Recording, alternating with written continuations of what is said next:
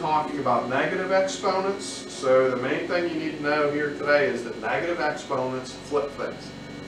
Uh, anytime you're given whole numbers, you probably remember those are invisibly fractions already on top of ones.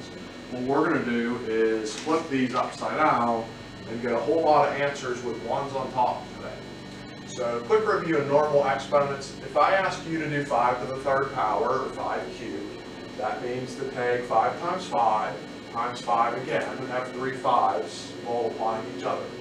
5 times 5 is 25. 25 times 5 is 125.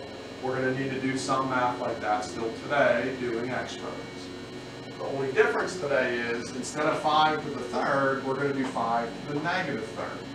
So instead of getting an answer like this, that's invisibly on top of 1, we're going to make this be a 1 on top of that same number. So if I ask you to do 2 to the negative fourth, as long as I give you whole numbers, in every problem today, I'll give you a whole number, your answer is going to have a 1 on top of something you have to figure out.